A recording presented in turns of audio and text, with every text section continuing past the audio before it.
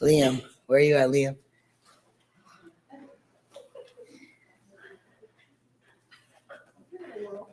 What's good? How are we doing? Uh, um, give, give me a minute to sort of settle in. Uh, uh, I have two instructions. One, I have to find Elliot. All right. And two, even though Giselle warned me, this has happened. This is the second time on this stage this has happened where Giselle says exactly what's going to happen. And then I'm not sure. and then I get here like I don't know what's going to happen. So uh, my comments, uh, I'd start with thank you, Dr. Anatol, because originally I was informed that I, the introducer, would be introduced. Um, but here I am. So I'm going to still start with the same thank you, which is uh, big ups. and I owe you an email. uh, big ups and, and, a good thank you to Dr. Anatol uh, here here at the Hall Center. I want to begin by kind of taking it in. I wasn't sure what we were going to be together gathered tonight, um, but I see some nice faces. That's so so orienting. Uh, and I'm gonna ride that out into the middle of my comments until I start to make sense of what's going on here. All right, so I want to begin by thanking the co-sponsors of the event, the Hall Center, that's where we are, uh, the Departments of English, African American Studies, uh, American Studies, and Sociology. And we'd also like to thank the College of Liberal Arts and Sciences and the Center for Gender and Sexual Diversity. Uh, these co-sponsorships have been made possible by a lot of work by Dr. Hannah Britton, uh, who is um, automatically programmed to deny the compliment. Uh, it's just, you want to do it again? You ready? Thank you. Thank you, Dr. Hannah Britton. Uh, uh, and uh, also to Amara Simmons, who has been doing a ton of work to help us organize the last couple of days. Uh, so thank you. Uh, I think that the communication, the effort has led to a pretty satisfying visit, um, certainly, but also a smooth visit, which is always welcome, right? Uh, so our talk tonight here is hosted come on in. I know it's busier than you thought it was going to be. Agus Phoebe, everybody. Come on in. Gene Vaccaro, everybody. Come on in.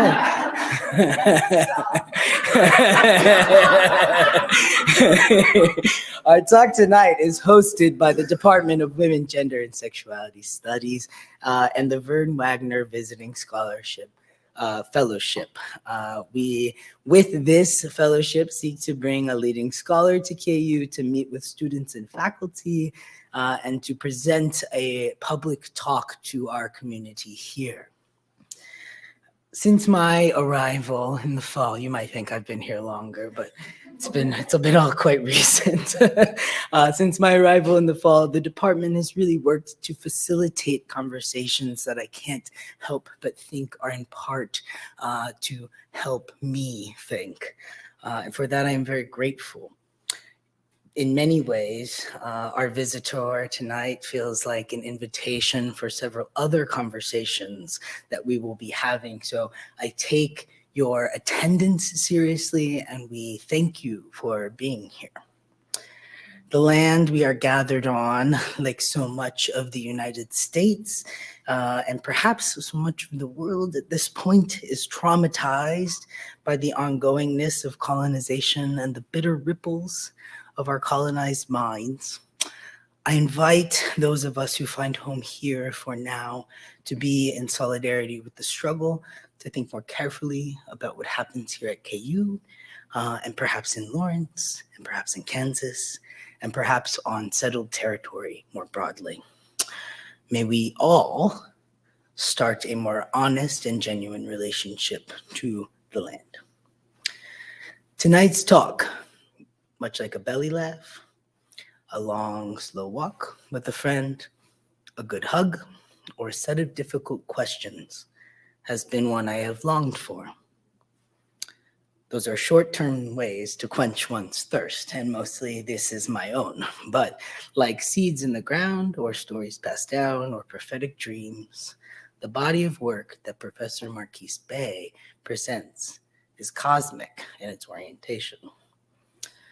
Glossing a gloss, Bey makes frequent reference to the murky citation of Moten via Saidiya Hartman that Black trans feminism might make us freer than we want to be. It is in this reconfiguration on the run that tracks the ooze of the body against the ontological assault of prescribed normativity. Can we unfix this attachment?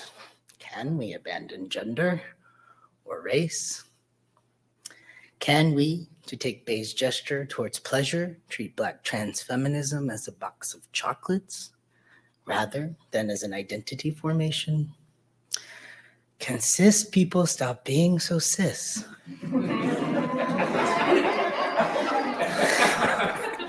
Can we all, in a capacious collaboration, remain in the question, in the interstitial bop, the transfigurative potential of letting go, or as Kamala Hicks is helping me sort out this week, putting the shit down? Encountering Bey's work for me was much like encountering a friend on the beach in the moonlight. The ideas come easy, the steady crashing soothes as it reminds of the power of the tides shifting. In the work, you will find blackness and fugitivity, transness and the crossing, and many lessons from Black feminist theory. Something happens when we look for problems, though, and we find them. uh, and interestingly, Bey uh, started their undergraduate studies uh, looking for problems as a biology major. I have to imagine that if they stayed in those rooms, biology would be better for it. As a professor of African American studies and English at Northwestern University, Bey thinks deeply as a practice, takes curiosity as a cause and creativity as a method boasting a theoretical corpus that resists the traps of inclusivity or belonging that are often predicated on having the keys to the plantation. In place of interpolative effects known from Fanon's Hey You, Bey asks that we take Fred Moten's advice and move from critique to study. What fractures can we usher in on the way to excess what fractures are possible through the excess of theorizing. As a person who has been all my life too much for other people, Bey's theories are a bomb and a solve and a solve for the libidinal structure that sets gatekeeping in its sights. Bey's work is a delight. Shh. It's not you, it's Outlook. Don't take that burden. Bey's work delights in the details, curates a higher ground, and sweats on the on the line politic of blackness, of transness, and of their transversal and always knowable jailbreak from what we have already imagined. The work is difficult because these are difficult questions. How might we live? How might we abandon? How can we learn to fly? Shout out to Giselle Anatol hosting a uh, conversation with my favorite children's author from my favorite children's book, The Year We Learned to Fly, Jacqueline Woodson. Bey is particularly concerned with modes of subjectivity that index otherwise ways of being utilizing blackness and transness as fugitive extra ontological postures as names for such otherwise subjectivities. Before I read the next paragraph, I want to remind you that as far as I know, we are still in the 2023 timeline. Dr. Bey earned their PhD from Cornell in 2019. And since then, and I am not messing with y'all, they have published five books. And we're not talking like nada, right? Look it up. the work speaks for itself, but the books include them goon rules, anarcho blackness, black trans feminism, system failure, and one of the most formative forerunners that I have ever read, and I really do read them all The Problem of the Negro as a Problem for Gender. I won't make you all feel bad by reading the journal articles. You can look that up on your own. That's probably my time. Uh, but I will offer uh, from firsthand uh, knowledge that the generosity of professor Bey's thinking, their willingness to think, and think with the kind of feral promiscuity that is so often impossible uh, in the demands of academic life and perhaps more broadly life in general.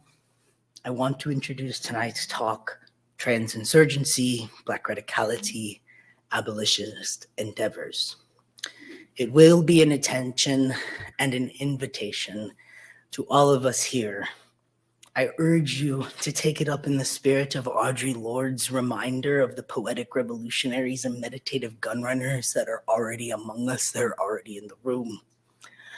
Our lives, perhaps many lives, are on the line. Please help me Welcome, Dr. Marquis Bey.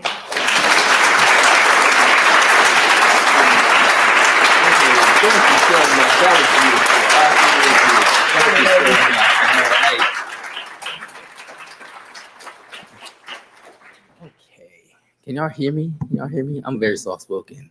Oh, damn, that was beautiful. That was beautiful. Abe. Okay.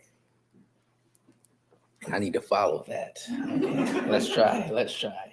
Um, thank y'all for being here. Um, I really deeply appreciate all of you being here in this space, gathering with all of us today. Uh, I think that's I think that's quite important. Uh, I think that's quite meaningful. I think that matters a great deal that we're gathered here with one another, uh, engaging in this this work in whatever ways and whatever capacity that we have. I think that's quite meaningful and impactful. Uh, so I will begin. What I wish to set out to do with you all today in the 35 or 40 minutes or so that I have is not to it's to not so simply tell a story. That story is a theoretical and philosophical one to be sure, but it is also in the vein of what might be more readily understood as a story, sharing a narrative, a telling. To put it a bit less cryptically, I want to tell the story of an idea in the academy, oftentimes we simply assume that these ideas come fully formed via a particular scholarly origin. But here, I want to share with you all not the scholarly origin per se, as if there was a singular origin to the idea I will be sharing with you all. Not the scholarly origin of these ideas of Black and trans, but I want to tell their story, their story for me. I want to tell the story of how they were gifted to me albeit piecemeal, by so many others, expected and not expected. I want to tell the story of how they came to be formulated in the way that I formulate them, how it feels to live with and through these ideas. I want to tell the story of where they have come from and where they might go. In short, what I will share with you all is the story of what I have come to call Black and Trans, and it is a story not often told. I begin almost two decades ago. Long have I been a shy kid, though not friendless. Indeed, I have long had more friends than I wanted. I have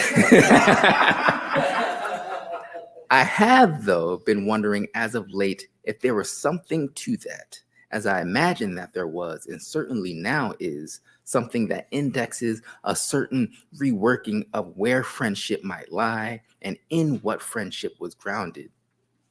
This is simply to say that my friends were and are a bit eclectic, by which I simply mean there was a way I moved with folks who often would not move with each other.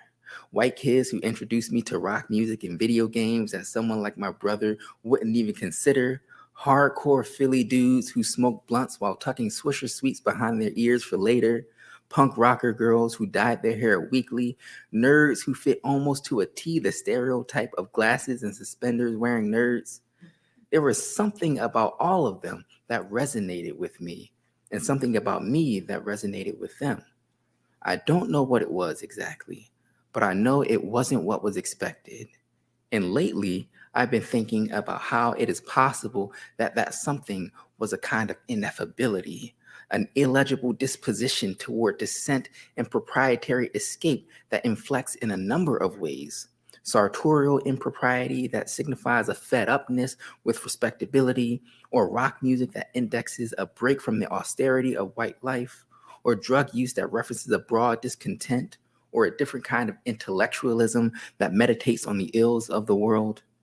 All of these things, for me now, inflect a thread of some kind of break or breach from normativity, from decorum and propriety.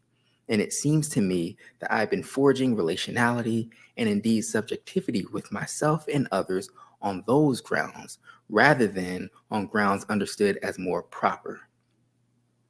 This very idea of the proper is what is breached.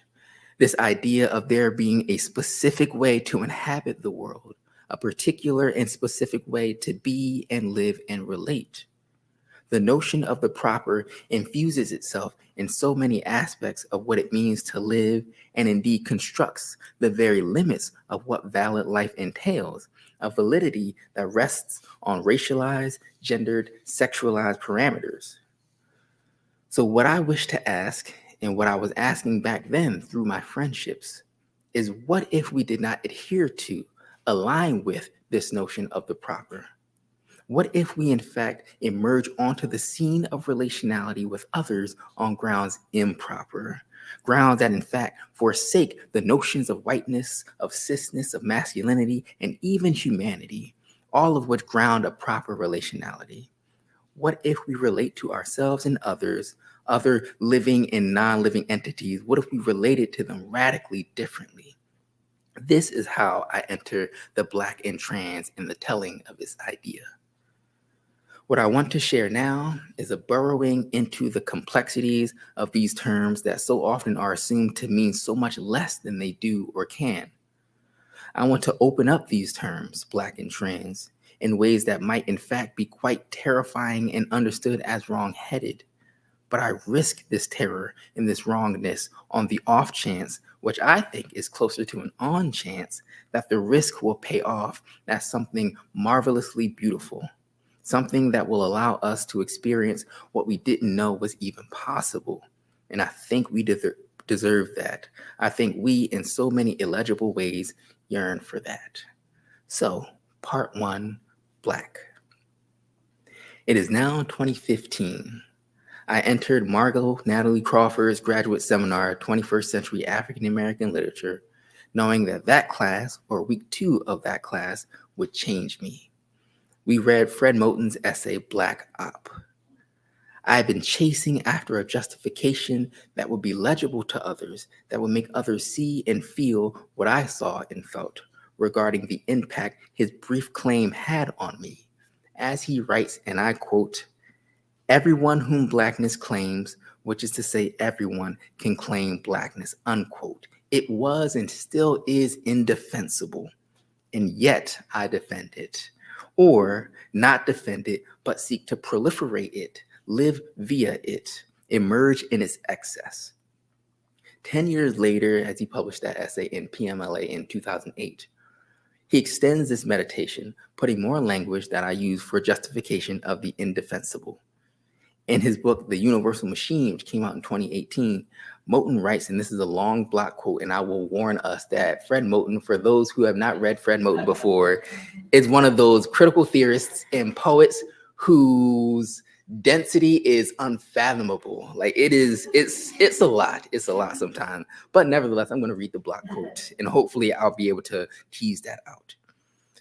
So Moten writes, quote, while as Fanon asserts, there is an imposition onto the figure of the black that would signify the confluence of racial identity and racial inferiority, there is also, in a way that is prior to the regulative force of that imposition and calls it into question, a resource working through the epidermalization of a aphantasmatic inferiority as the anti epidermalization of the radical alternative, to which the peoples who are called Black have a kind of underprivileged relation in and as the very history of that imposition.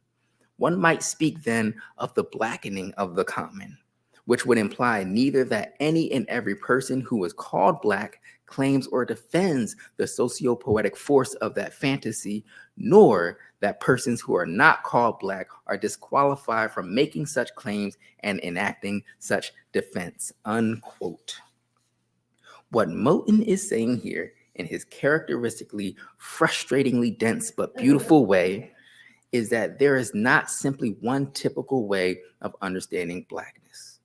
On the one hand, surely there is a way of understanding blackness as a property of those on whom a certain racial inferiority is placed. Absolutely. But there is another way to think through blackness, a blackness that is not reducible to this conception, but is rather not a specific racialized category that mm-hmm. exceeds and obliterates the grammars of that colonial vestige of hegemonic normativity and violence called race and racialization. Blackness, for Moten at least, becomes not simply a racial category innocently described and reproduced instead, or supplementary Blackness names the abolition of coloniality, of circumscription, of capture and captivity, the categorization along lines of the colonial notion of race included. This is Moten. This is what someone like Moten, as well as Denise Ferreira da Silva and Hortense Spillers and Ashon Crawley, and even Toni Morrison, I would argue, and I would go to bat on that. This is what these people are saying. And yet, even though these thinkers are beloved, few people approach blackness in this way, but I think I want to approach blackness in, in this way via these folks who have been deeply impactful and influential for me. I want to try to take them terrifyingly seriously. Someone like Moten is hot right now and has been hot for a while. That heat, however, to me is rendered lukewarm, if not cold, when those touting and amplifying his hotness are pressed. They say under They say under commons, they say study, they say in the break, but they don't say something like para-ontological. They don't say that blackness must be understood in its ontological difference from black people. But I want to say these things and must say these things, even if they are hard to hear. If, as Moten says, feeling and thinking and living with many others, Blackness is not reducible to a demographic category, if, as Moten says, Blackness is the anoriginal displacement of ontology, phrases that I've been forced, blessedly so, to live with, then I must refuse the conception of Blackness as an identity, even as a form of non identity predicated on wound and deprivation, and to regard it instead as a modality an open modality, a kind of fugitivity. And I can go on ad nauseum about how I'm understanding fugitivity. It is because I've sat with Moten and others too that I think this and must enact this. I've sat with and have had to sit with, have understood sitting with as an ethical terrain someone like Hortense Spillers, who has said in a reading of Ralph Ellison, and this is from the introduction to her um, collection of essays, Black, White, and in Color people always talk about mama's baby, papa's baby, but she's written other things that are also really, really good, really good. So Hortense Spillers, who has said in a reading of Ralph Ellison that blackness marks a symbolic program. This is a direct quote. Blackness marks a symbolic program of philosophical disobedience that will make the former available to anyone, or more pointedly, any posture that is willing to take on the formidable task of thinking as a willful act of imagination and invention, unquote. I have sat with Kai M. Green, black and non-binary and the deepest lover of black and trans people, who has said, quote, not all black people relate to the category or are marked by the category in the same way. Your blackness might not be legible in certain places. Black is a category that we all have the ability to move in and out of, unquote and asks of everyone looking to be in coalition, quote, what do your politics look like? What kind of work do you do? Unquote. And I've sat with Ashon Crawley, who has said Black social life has been the constant emergence of abolition as the grounding of its existence, the refusal of violence and violation as a way of life, unquote. And I have sat with Zora Neale Hurston, who has said that all skin folk ain't kinfolk, and I've sat with others still That sitting has led to all this mess, and I will continue to sit. Why is it that I've come to not being able to not think and feel and theorize this? What is it that I am trying to convince others and myself of? Perhaps I am not sure, and yet I continue because I continually search nomadically for language and politics and affects that allow us to move differently. I'm searching constantly for a way to get us out of captivity, a captivity so many of us sometimes covet and misunderstand as loving and necessary. I want the kind of freedom that Saidiya Hartman mentions, the freedom of radicality that, as she says, will make us freer than we actually want to be. I want that. I cannot abide our capture and seek a thoroughgoing abolition which must include any and all forms of violence and captivity, whether more legible forms of carcerality or colonial vestiges of hierarchy and power and normativity. Blackness as a term and idea references this. Part two, trans. I was sitting at a table on the patio of a lovely little restaurant in Dartmouth with a colleague and our new friend. This was a number of years ago, and during our walk, I shared a bit about the writing that I do, that my intellectual pursuits revolve primarily around Blackness, trans studies, and feminism. It was made clear that my political commitments were focused on gender non-normativity, on gender abolition even, and the ease and comfort with which I use the words trans and they pronouns and the language endemic to queer and trans cultural productions attested to a certain level of dexterity with the topic and a certain proximity to its effects. Our new friend, as we sat, shared her own scholarly pursuits, that of Asian American literature and cultural studies. Somehow, and I truly do not remember how, my colleague, a white woman who brilliantly writes about Indigenous and African American speculative fictions, noted how her and I have had numerous conversations about the ethics and navigational attention of those of us who are presumed, quote unquote, outside of the implicit demographics of the disciplines we take part in, or how we are assumed to be specific kinds of subjects by virtue of the things we write and think about. And then we are deemed as unexpected or improper to the subject sometimes when we show up. Or the ways in which we show up are wrapped up in the assumptions of what kinds of people are proper to such modes of writing and thinking. As I spoke and referenced the ways I am thrown around discursively in and around trans studies, our new friend interrupted me and said, Wait, I'm confused. Are you trans or not? This or something like this has happened to me about two dozen times now uh, and counting. Being invited to give my personal story on Black trans identity or asked to participate in all trans panels leaves me with a deeply vexed feeling.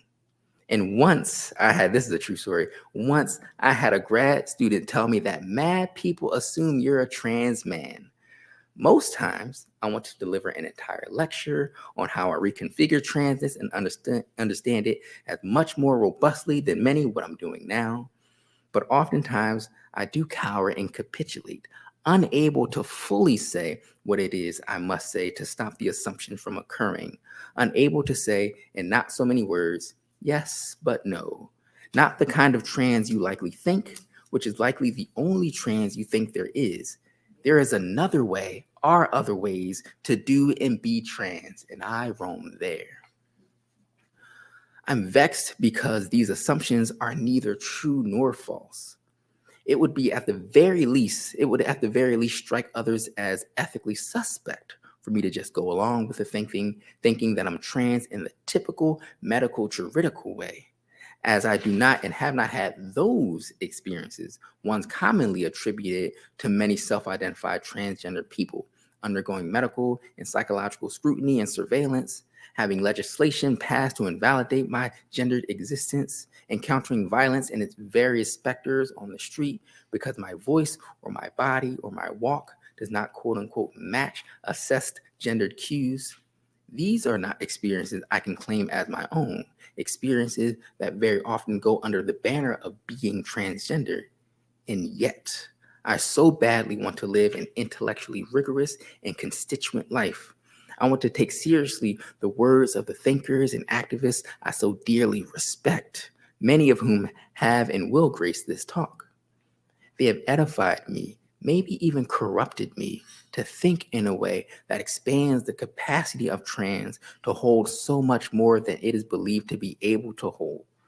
That trans, far from being simply a name for moving from one gender to the quote unquote other gender, references something more a tinkering and fracturing of gender itself as a coherent, seamless regime imposed as an apparatus of capture, a politicized misalignment with gender, with normativity writ large, an interrogation of non consensual impositions of paltry options bestowed upon us before we even show up in the world.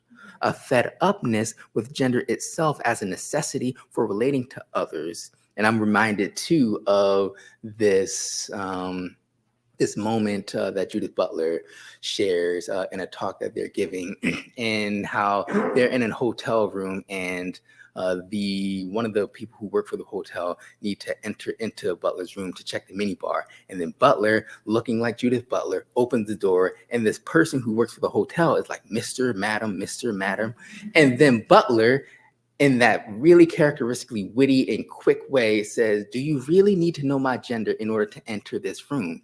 Those kinds of moments where the literally the social interaction is stalled because one cannot place gender. That's what we're talking about here. That's how I'm understanding gender as doing that kind of thing.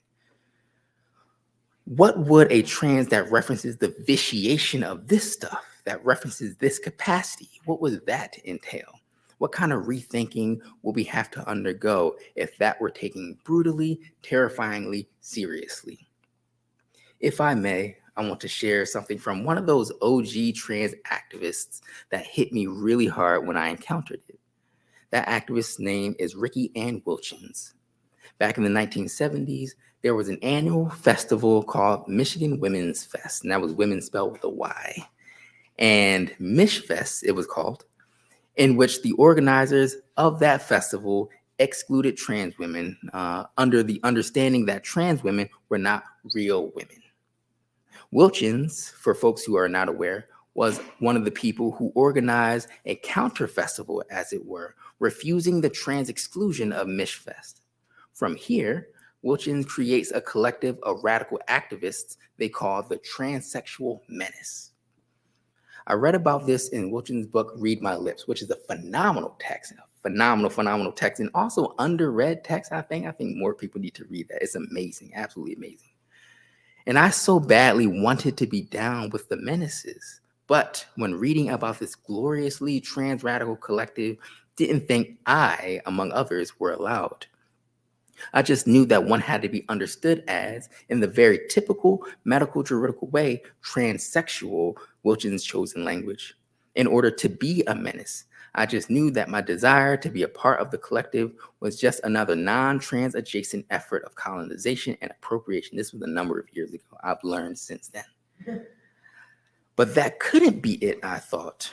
This way of thinking feels too radical to lap up these staid, rote rules for exclusion, I thought to myself. And I think this is very much the case, it turns out. Quote, this is Wilchins. First of all, you don't need to be transsexual to be a menace. Anyone can be a member. It's more of a disorganization than anything else, unquote. And this is not a move of absolution or cis capitulation. I wanted to and want to now still take this seriously. If anyone can be a menace, a transsexual menace, what does that make the designation transsexual menace? It makes it, I think, categorically irreverent. And one comes into menaceness to the extent to which one irreveres, one does not revere the categorical imperative, to the extent to which one refuses trans antagonism, not the extent to which one, quote unquote, is transsexual, the limits and scope of which are always and already under a kind of scrutiny. To be a menace is to menace, to threaten. To be a menace is to threaten the order, to threaten organization, to be a menace to the binary, whether you look like this or that. It is about how you menace the regulative regimes that say you must look like this or that. Those regimes demand so many contortions into non chosen categories, and that is the issue here. So, since, and this is Wilchins again, since even such hard categories as gender, race, sex, and orientation are not causes of our oppression, but its effects, we need a new kind of political struggle, one that seeks not just to overthrow the oppression, but the categories as well, Wilchins says we need what I might call a kind of trans insurrectionary abolition. That is what our understanding of trans moves toward. This is what I always want to say to people who seem to have such a flat, collapsed notion of trans. It is this kind of trans that is embedded in the idea of it that I offer here under the banner of abolition.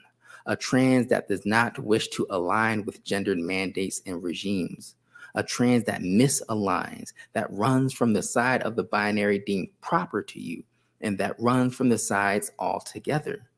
Because what happens when you do not run back to the side we've been said to stay on? What happens when we rebuke in infinite ways the ways they've lashed a specific address onto us, onto our documentations and IDs? And frankly, it is not even about the address on your ID the address they said would never change, and the address that must define you. Because how many times have we gone to the DMV, presented our documents, coercive and surveilling documents, been asked if the written address is still current and said no?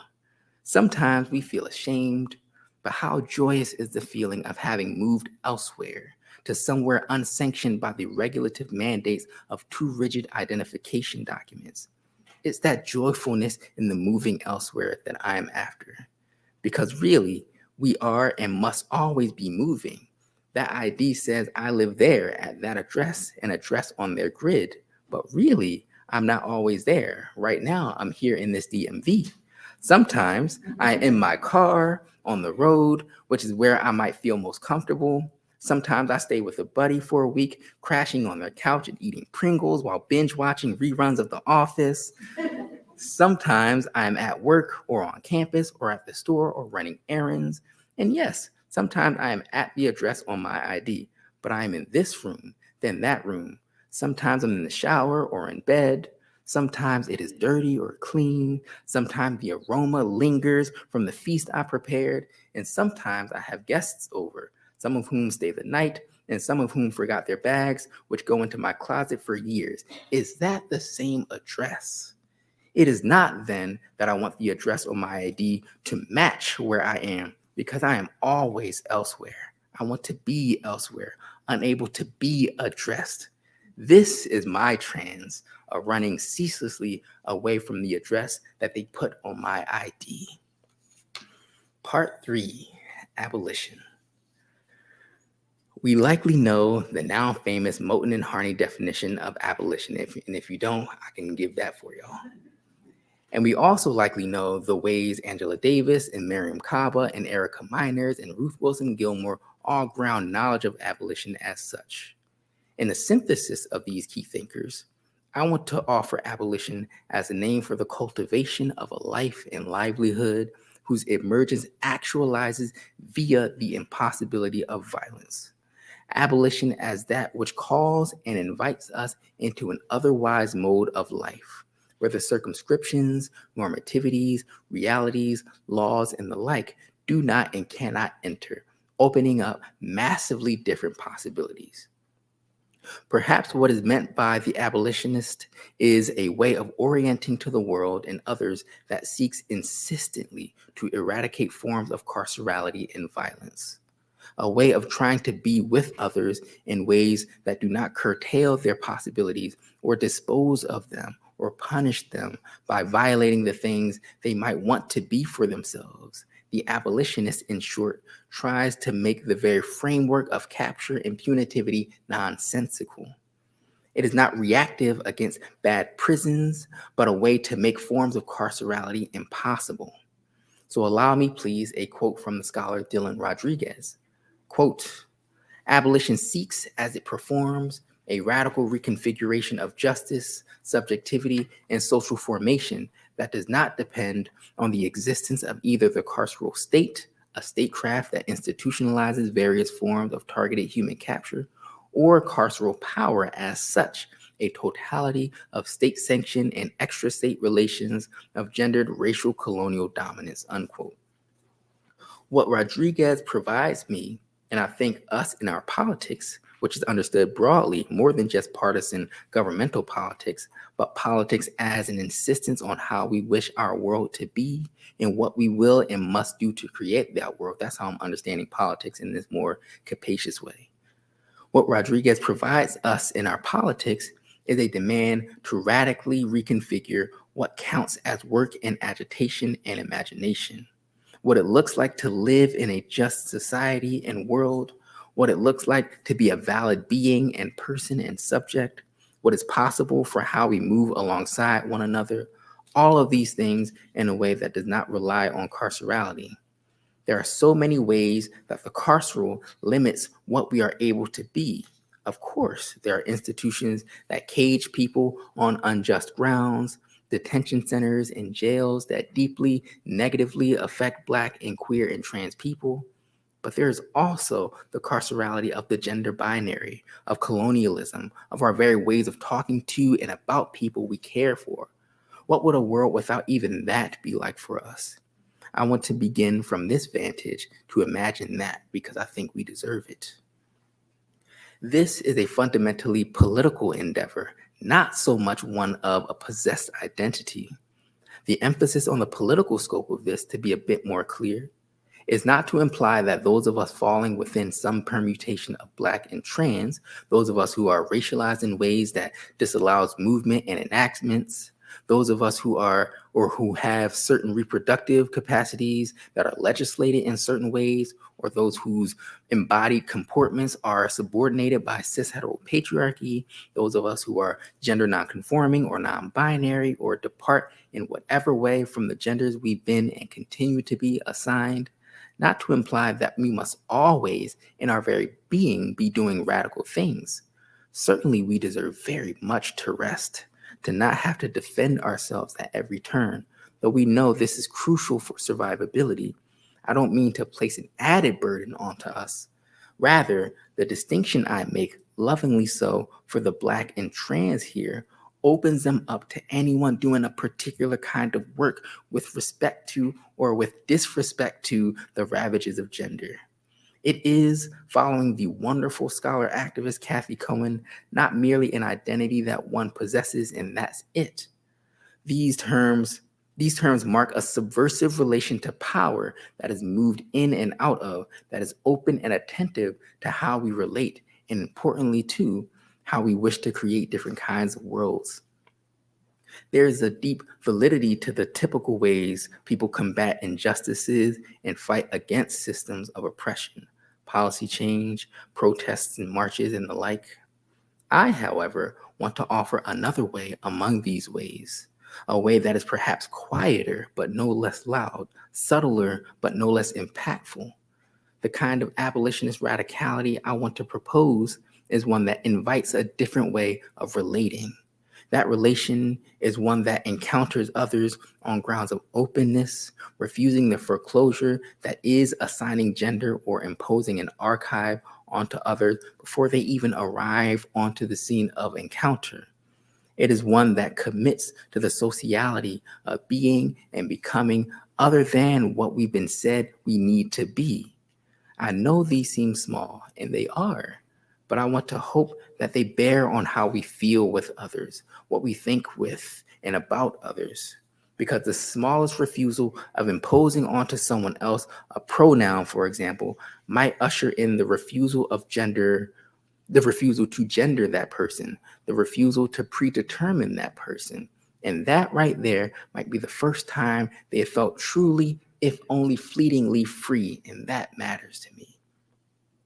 Abolition is not one spectacularized event, but a constant working toward eradicating carceral logics as necessary for sociality and relationality.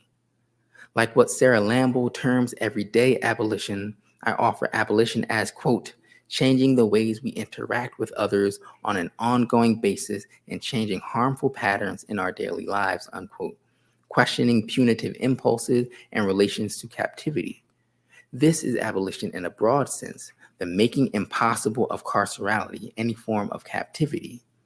We create abolition and do abolition. In each moment, we move toward the alleviation of subtle ways of curtailing the ability of anyone to become liberated.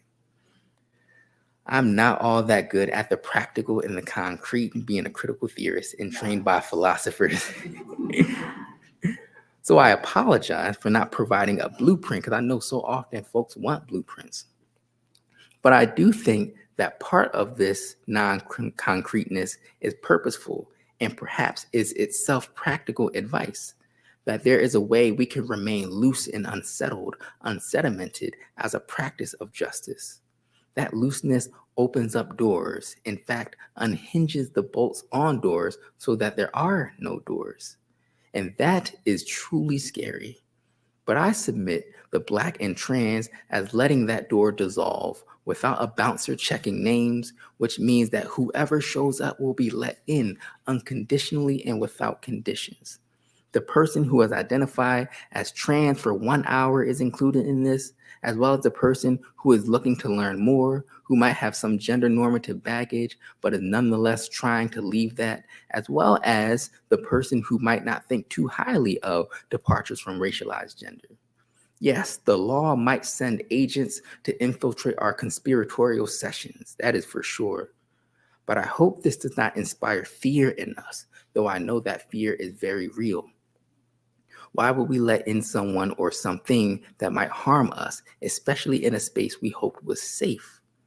I suppose all I might say about this is that I want so very much to expand the people who love and fight and care and affirm and proliferate possibility of us, which of course includes us. So I am promoting via an abolitionist framework of refusing to dispose of anyone, refusing to say that someone does not measure up or say that someone is irredeemable. And to say that someone doesn't measure up or that someone is irredeemable is part and parcel of cisnormativity and white supremacy promoting this non exclusivity because the very scary and risky possibility in that is that those who do not want us to exist might be moved to become otherwise. Because also, entering into the new world, the new mode of relating, means that whoever enters will not and cannot be the same. The relation touches them such that they are no longer the same as before they entered, and that shift can be everything. Blackness in transes might be precisely in their openness, the cultivation of the soil, such that it might be lush terrain for those who have not been permitted to arrive onto the scene. And coda. We know it is important and boilerplate at this point to enumerate the dead. This is an ethical gesture, one with crucial implications. I am not someone who pedestals a mere remembrance of the dead, those who have met their deaths by anti Black or trans antagonistic or patriarchal violence. Nor am I someone who wishes only for marginalized people to be alive despite everything we might face. I am, in other words, as you might guess, not very interested in ends and endings, which is not to say they are unimportant. It is to say that the end is not the point not where the work is done, not where we are made aware of an injustice. What is unjust is precisely what precedes the supposed end. What is unjust are the terms of living, as Cameron Awkward Rich, Black trans poet, writes, quote, there is something deeply unsettling, that is, to the insistence that someone ought to be alive in a world that did little to support that life, he says. And I feel that deeply, I do. And it is exactly this that propels me always to think about, mobilize around how the terms of living might be cultivated such that they finally allow for not even those who were barred from the social world, but even those who we didn't even know existed. And this right here is where we might find our abolitionist politics, making and insisting on a world that is cultivated for those we knew not existed, and we will love them. Thank you all so much.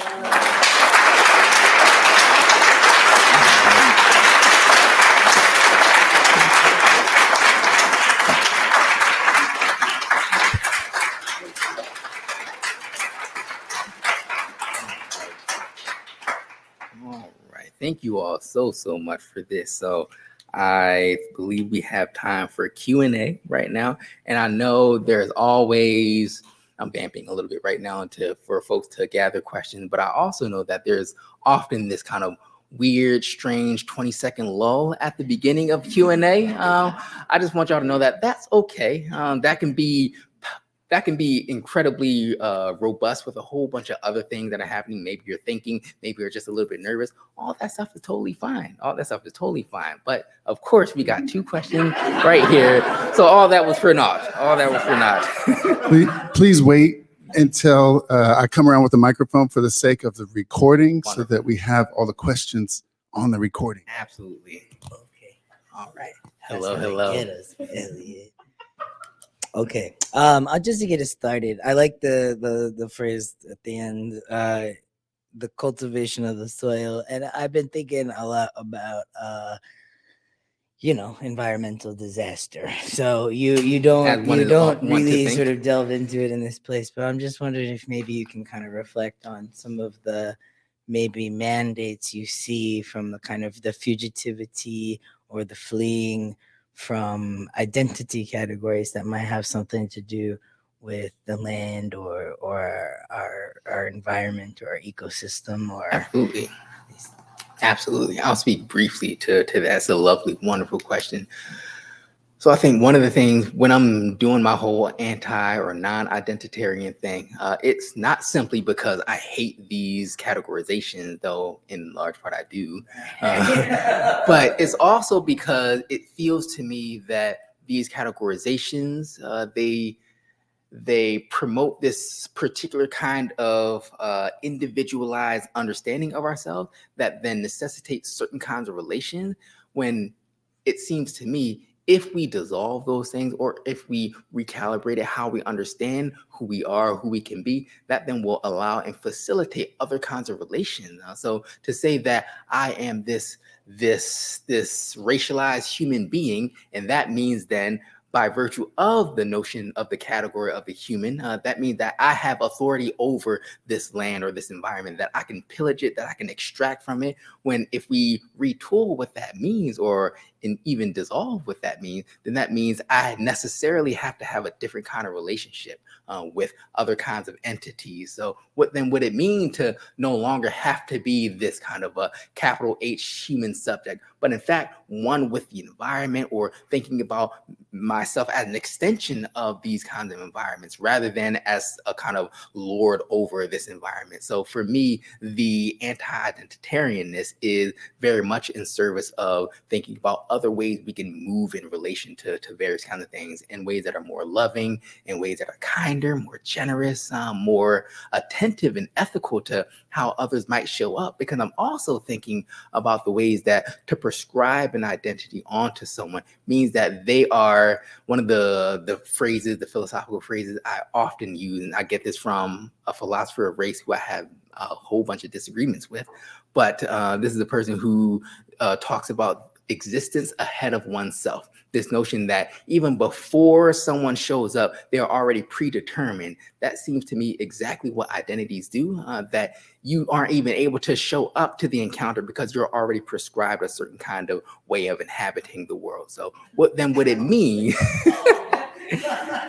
what then would it mean though? What then would it mean to actually take seriously that I don't even know who will show up before the encounter happens? That I think will allow a much more ethical relation to others because that might be the first time someone discovered that they can be something else. Uh, and that to me is a beautiful possibility, a beautiful possibility. Uh, so I want to try to dissolve those kind of things in service of different ways of moving in the world, ways that are softer to tread more lightly on the earth. Uh, like that's what I really, really want. And it seems to me that's a little bit more possible when we think differently about what it means to be a certain kind of subject, uh, rather than this subject that then has a kind of authority over this other kind of subject, but rather an extension of all these other ways of moving in the world as a part of a plenum rather than this kind of individuated subject. So I think there's a relationship there between the anti-identitarian and the environmental or the spatial or the geographic or the all that kind of stuff. So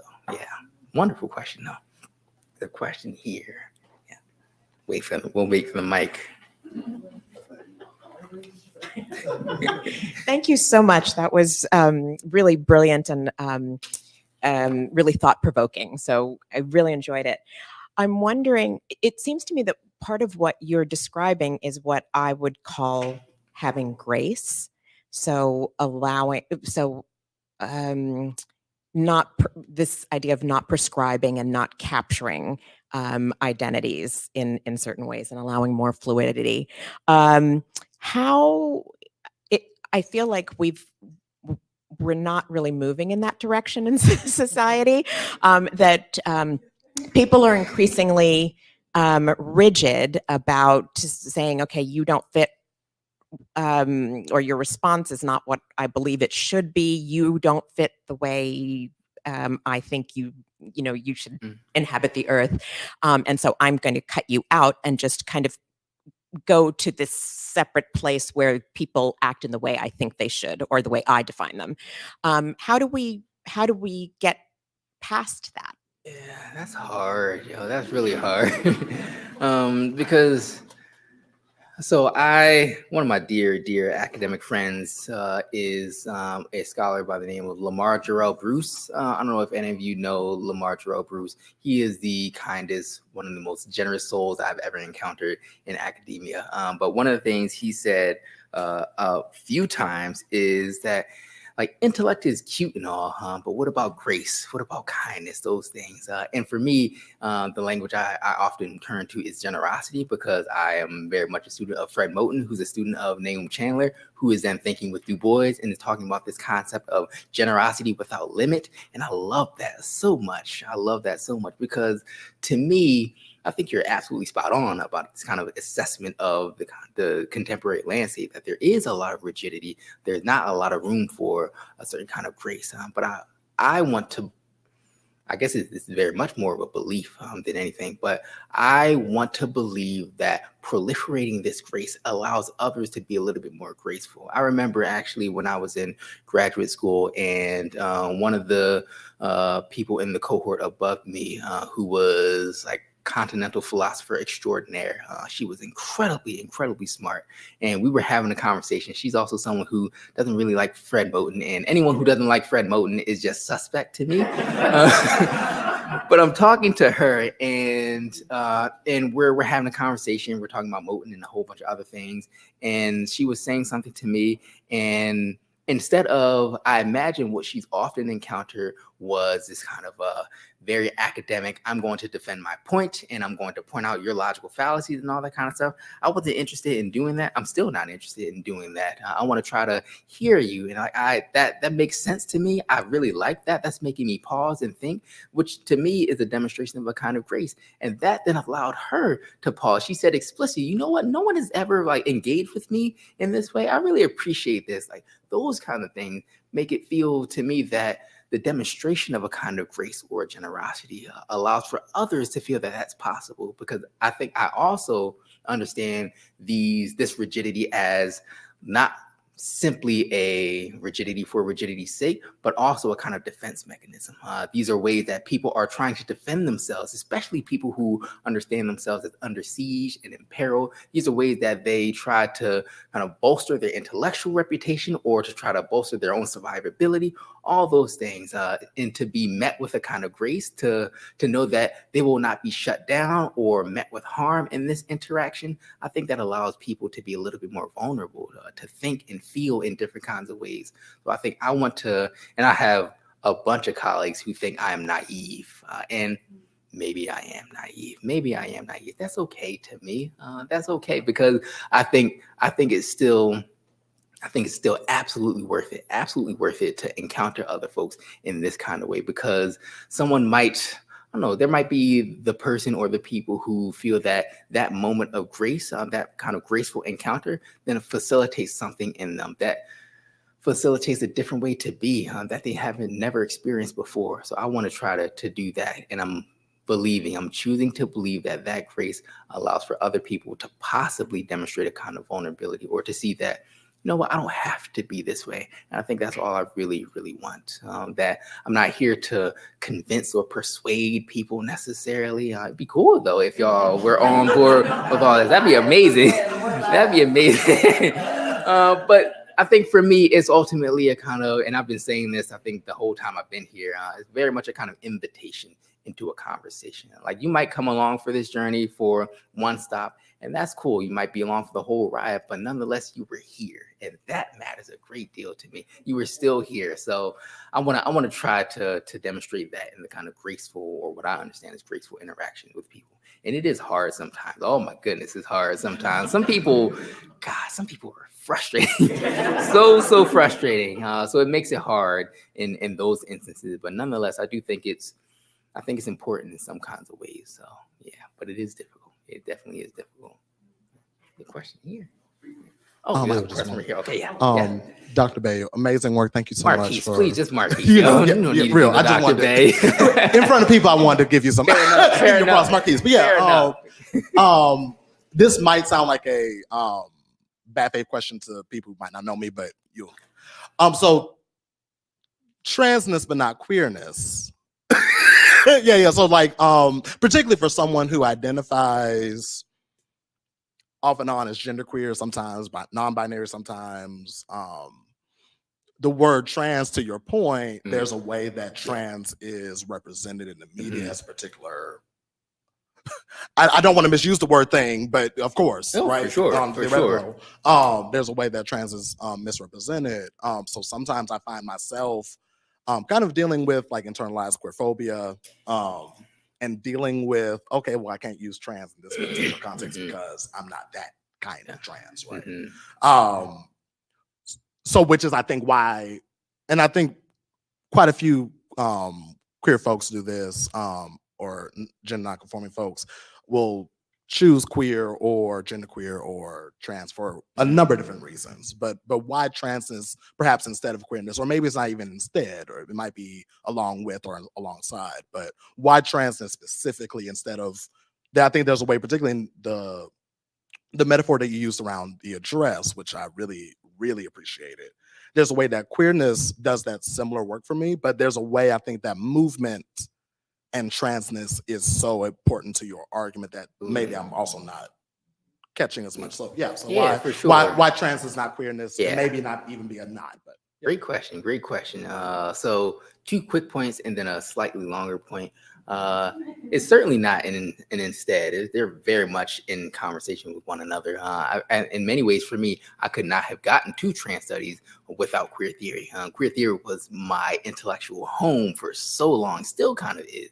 Still kind of is. Um, but it's certainly not an instead. But I think you're also absolutely right. There's something with something about movement in the trans that I'm really drawn to, incredibly drawn to. There's a kind of movement, which is then to say for me, a kind of fugitivity in trans that certainly is not not there in queerness, um, but there's it's doing a different kind of work. Uh, it's not doing more or less important work, but it's doing a different kind of work, which then gets me to this last point. Um, one of my favorite moments of Fred Moten and Stefano Harney's book, The Undercommons, uh, which is freely available online if you haven't read it. It's amazing. Oh, so good, so good.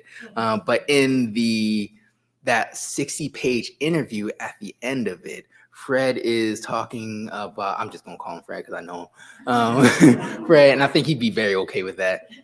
But Fred is talking about how he was in the car once driving somewhere and his kids were in the back and they were playing this game that they called family. And and then one of his kids i think it was lorenzo uh, who said um, dad do you want to play this game with us? Uh, and then fred's like okay tell me how to play the game. And then uh, fred's kid says we got this we have this box and we got all these tools uh, and if you use this tool you can enter into this box you can enter into this space. And that's how i'm kind of understanding trans. It's not it's about entering into the space uh, it's about entering into this mode of being mode of inhabitation surely certain tools can get into this box in different kinds of ways. Multiple tools can also get into the box. There are some tools that because i'm using it maybe i don't have the strength to lift this sledgehammer, but someone else does. So they'll use a sledgehammer, but maybe I use this lockpick, but someone else is not really dexterous with a lockpick. There are different ways to get inside the box, but it's not about the thing itself. It's about being in the space. Uh, so for me, trans is one of those tools that allows us or that allows me to get into a certain kind of space, a certain kind of inhabitation or exhabitation of the world. Uh, and it allows other people to inhabit or exhabit the world in certain ways. But for some other people, queerness does that work, or some other kind of way of moving through the world does that work. So for me, it's not about the word. The word is not, this is one of my grad students, the word is not the thing. The word is not the thing. The, there are other things that are the thing that we're trying to approximate with this term. And so I, I'm incredibly, or maybe not incredibly, I'm very just kind of like non-covetous or non-proprietary over these terms. Like for me, it's whatever allows you to do a certain kind of work. That's the thing I'm interested in rather than the thing itself or the word itself. So, how are we moving in certain ways that are ultimately liberatory, radical, etc., imaginative, etc., etc.? Um, so maybe maybe the work of trans does that work for you. Maybe it does that work for you later on. Maybe it did that work for you. Um, maybe it doesn't now because of various kinds of congealments and sedimentation and all that kind of stuff. These things are always in motion and in fluid and all that kind of stuff. What works for us in this moment to get us to do the certain kind of work that we're interested in doing? That's what I think I'm, I'm interested in ultimately. Wonderful question, Anthony. Thank you. oh, thank you. For, thank you for your talk. Thank you. I am wondering if your ideas have any implications for how to deal with some of the current anti-trans legislation and people who are trying to force people into boxes and punish them if they don't fit. Uh, Yeah. Do you have any ways of dealing with them? Any suggestions? Oh, good. oh, goodness. Wonderful, marvelous question. Very important question, too. Not really.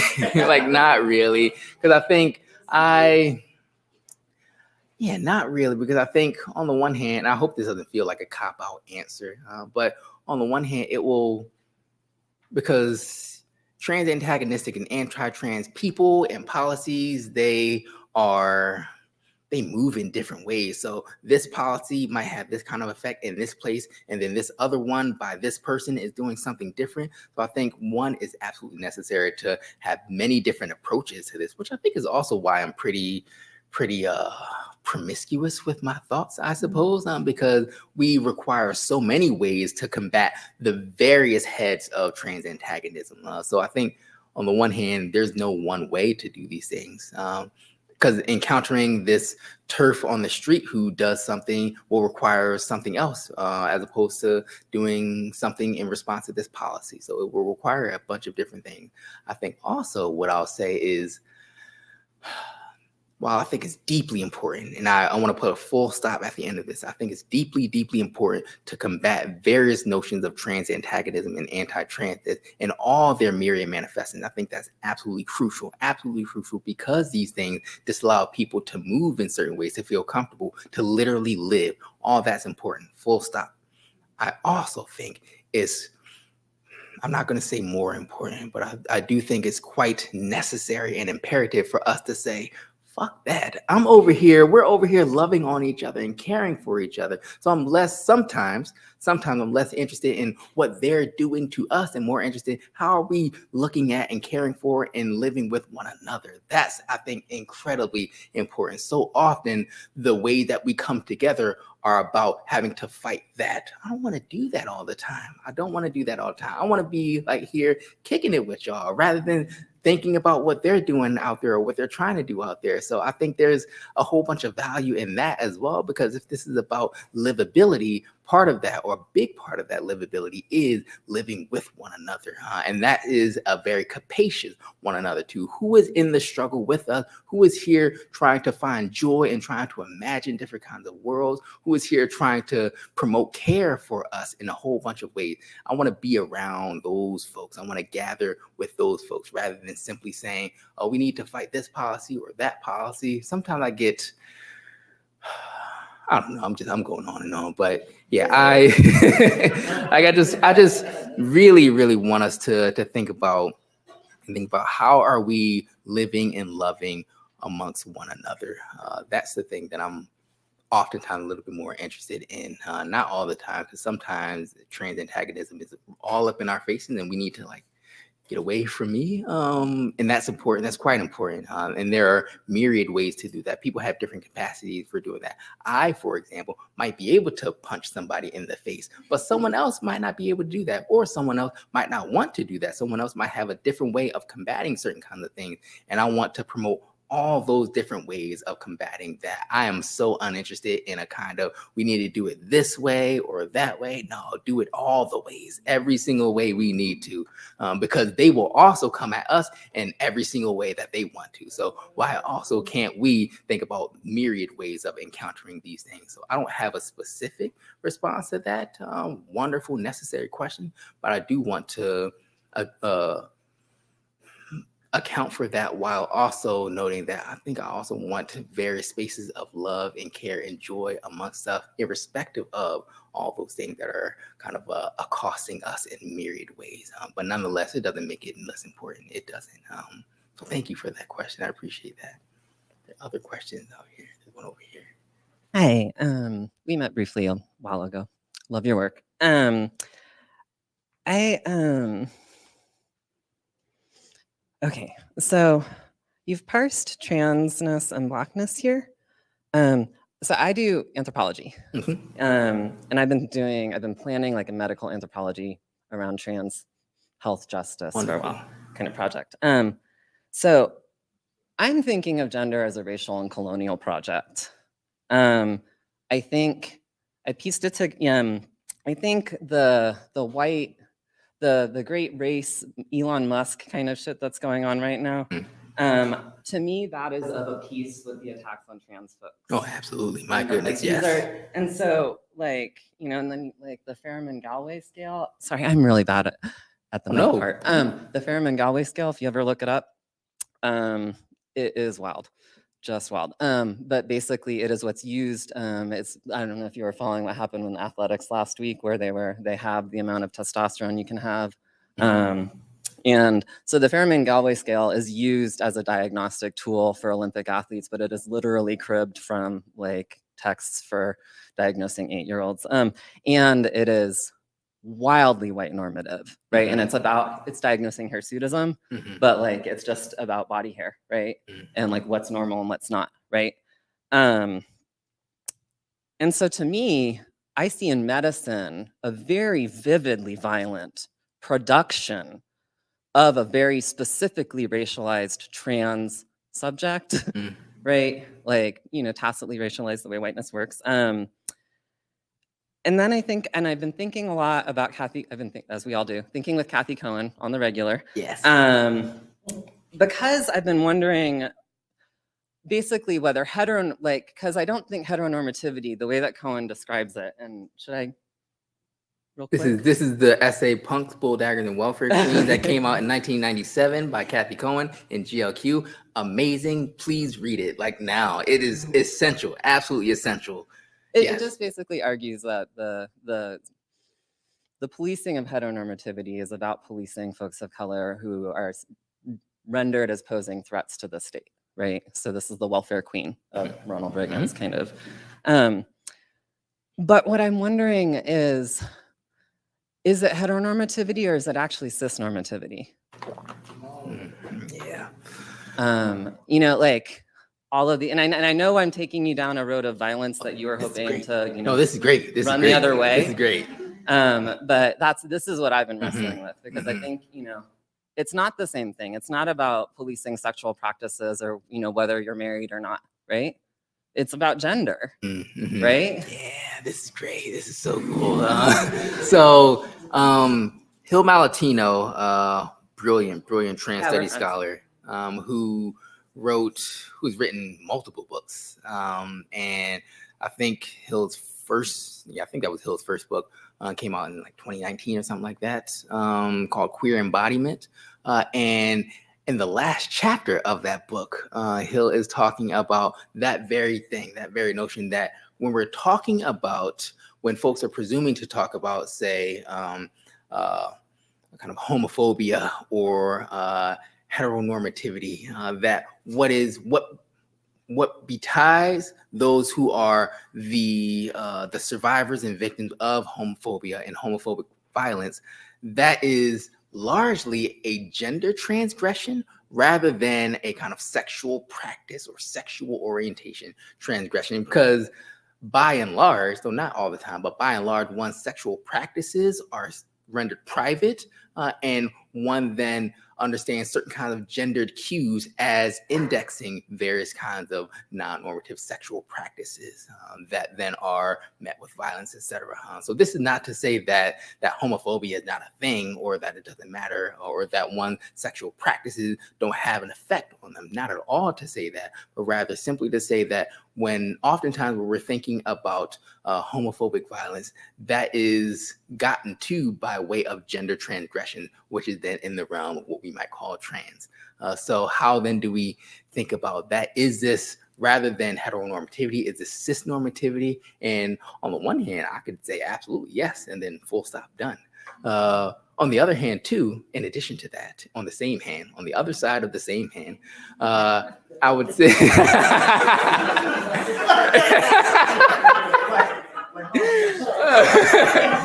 but like, it's I am I I think yes, certainly it's cis normativity, but I think also it's mm, this feels like one of the kind of answers that I just hate when people say it's all the things, it's all the things, but it's kind of it's also it's absolutely cis normativity. It's also kind of white supremacy. It's also kind of racial capitalism. All these things are happening there. But this is not to say that then we shouldn't say anything about it, um, but that yeah, cis normativity, heteronormativity, white supremacy, all these things are bedfellows with one another. They're getting it on in a whole bunch of different kinds of ways, and they are really absolutely decimating the livelihood of various kinds of non-normative subjects, which I think is also one of the things that Cohen is speaking to, the messiness of all this, because when one presumes that, oh, this is heteronormativity, and then she's talking about act up and the we hate straights and all that in the beginning, which is like, kind of, but not really because because the way that these various notions of supremacy are operating, they are collapsing things and fracturing things all the time. So when we say it's just this one thing, well, there are, there's always something else happening, always something else going on. Uh, so I think I would want to kind of uh, allow us to think about, yeah, this is absolutely cis-normativity. It's also all these other things that are happening. So how can we allow that to engender in us? Because the the one of the things that Cohen is talking about as well is coalition building. Uh, and how then can we think about not simply this single issue politics that then is over and against other kinds of politics, but rather thinking about all these things in coalition with one another. Um, that when one is met with a kind of cis normative violence, that's also uh, indexed in various kinds of white supremacist violence and also kinds of heteronormative violences. So I want us to also be thinking about those things as well with linguistic precision, but also with a kind of capacious, promiscuous, like you are also getting fucked over. Okay, let's talk about that. And let's think about the ways that we can also be in coalition with one another. Uh, that I think is, I mean, I love that Cohen article. That Cohen article is absolutely brilliant, absolutely brilliant. Um, so I'm glad, I'm really glad you, you brought that up. Um, but yeah, absolutely cis normative for sure, for sure. Also, these other things are happening too that is like, how are these things happening all at the same time? And what is what does that mean for the ways that we relate to others? What is the what does that mean for the ways that we that we approach various kinds of justice movements et cetera et cetera? So a lot of things are, are happening that i find quite fascinating um, and i also find quite urgent as well. Um, so yeah that's my long-winded answer to long-winded rambling answer to that question. Other things other questions comments that folks have we have right here Oh, someone up here. So, um, thinking about the coda and with Trans Day of Remembrance coming up, Mhm. how do you navigate remembering the dead to so as to interrupt the ongoing erasure of Black and trans people, Mm-hmm. but also avoid forcing upon the dead the labor of immortality and to work for a world that did not support them or hold them or allow them to flourish? Marvelous question. Marvelous question. Um, how I personally approach that. Um, we can talk about Trans Day of Remembrance, Trans Day of Resurrection, Trans Day of Visibility, all these different ways that we're thinking about TDOR or TDOV and all that. And and I I think First, I surely it's important to to remember uh, those who've been slain. Uh, that's deeply important. There's a kind of a this is a M. NourbeSe Philip on the defend the dead. Um, very much a part of that tradition. Uh, I think also though it's how are we thinking about not simply not simply commemorating and uh, continuing to uh, proliferate the names of folks who have been who have been killed. Uh, not simply doing that, but thinking about what are the conditions under which we might allow people to emerge into a different kind of life. Uh, what are the conditions upon which we might think about the impossibility of that person having to have been killed. Uh, so, in not instead of in supplement to uh, remembering the dead, I think I also want to think deeply, deeply about who is still living uh, and how are they still living, and also how are we combating the various death dealing systems that disallow various kinds of life.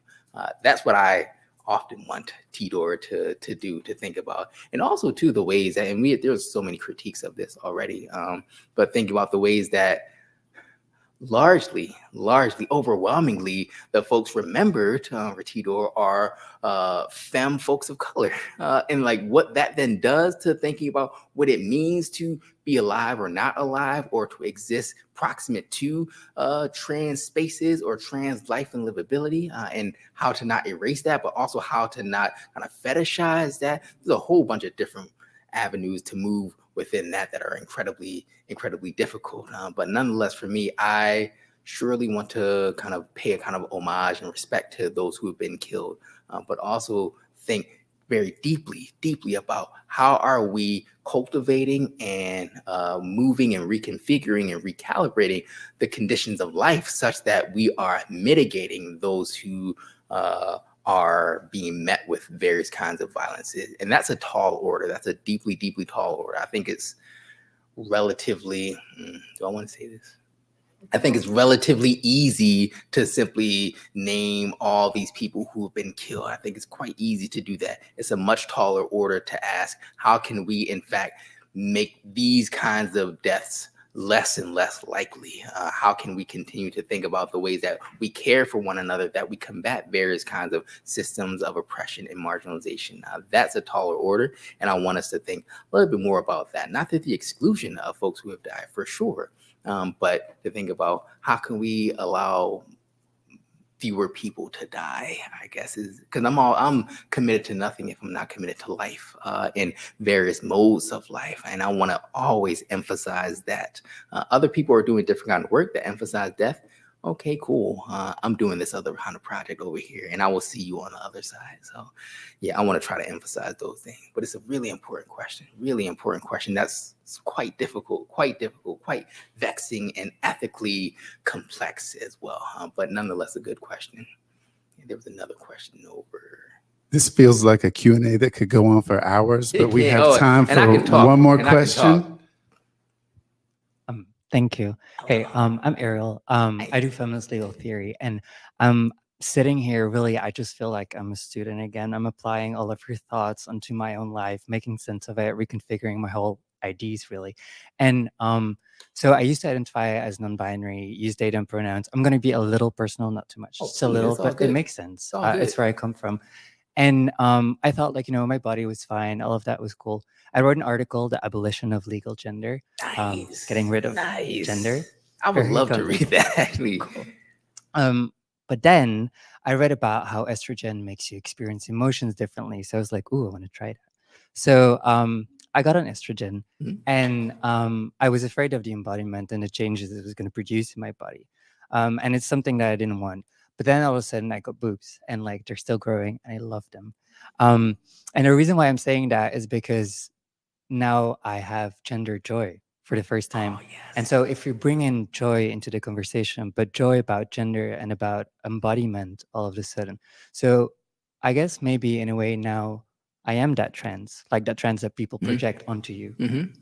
And um, I think if if we're bringing if we bring in gender joy and joy with the body, um, now I no longer want to abolish gender because it brings me so much joy, precisely because of embodiment. Mhm. And so I'm reconfiguring my whole ideas about Mhm. gender. So I'm thinking now, um, that kind of trends is that Mhm. kind of trends then merely victimhood of gender as a colonial tool? Mm. What do we do with that? Mhm. What that trends Mhm. and, and and joy that comes from gender embodiment Mm. um, for your theory? Like Yeah.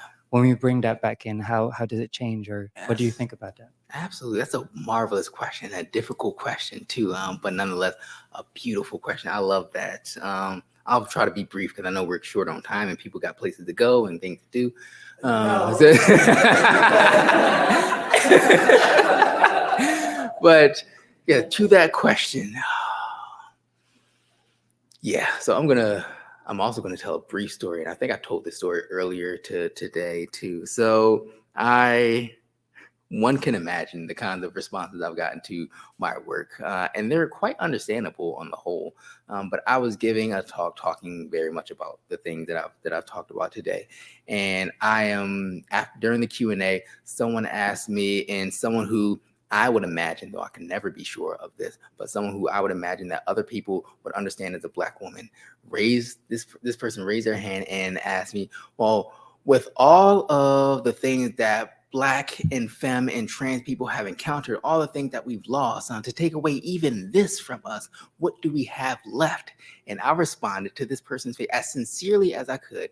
We have everything else. That's the thing that I am like. I this is not to say that this doesn't matter. it's not at all to say that, um, but it's to say that I'm just I'm gonna say it. Uh, like it's to say that I don't know if it's the thing. What's the thing is the joy, the feeling that you can move in a different way. This doesn't discredit the feeling that this this notion of gender uh, feels incredibly joyful to me. But I wonder, I deeply, deeply wonder, like if it's that or if it's the something else. It's a way of being of moving a way of seeing yourself change a way of refusing certain kinds of impositions a way of existing in a world in a different in a different way. I do wonder if it's those things that are perhaps also bringing a kind of joy um, to to you. So i never want to rain on anyone's parade. I never want to ruin anyone's joy. Please find joy in all the places that you need to please do that that to me is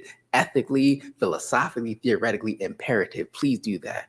I do want to to ask the question of where that joy is located because I do think sometimes, maybe even oftentimes, it's not so much the thing that we are told is sutured to that joy, but perhaps some, some something else. And I want to try to entertain the possibility of something else happening uh, that is engendering that joy.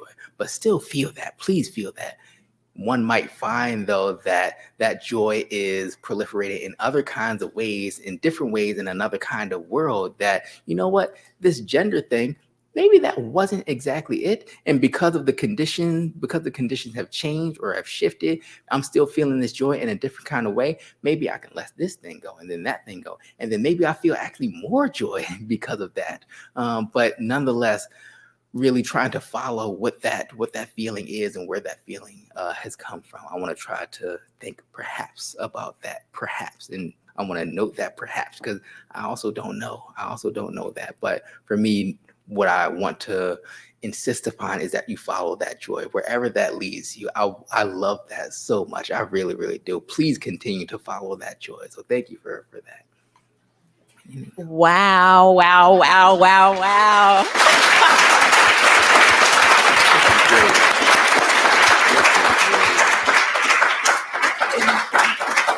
this i'm going to ask you to clap again but this has been amazing. Like so uh, thank you all so much for coming for lending your energy and your thoughtfulness and um, i mean some amazing questions. And uh, professor Bey thank you so much for your your, your intellect your feral promiscuity um, what a great phrase Great um, phrase. but also you know just uh, your uh, your openness and your generosity um, with all of us, your time and your um, your brilliance. So thank you, thank you again. Oh, true. This is wonderful. This is absolutely wonderful.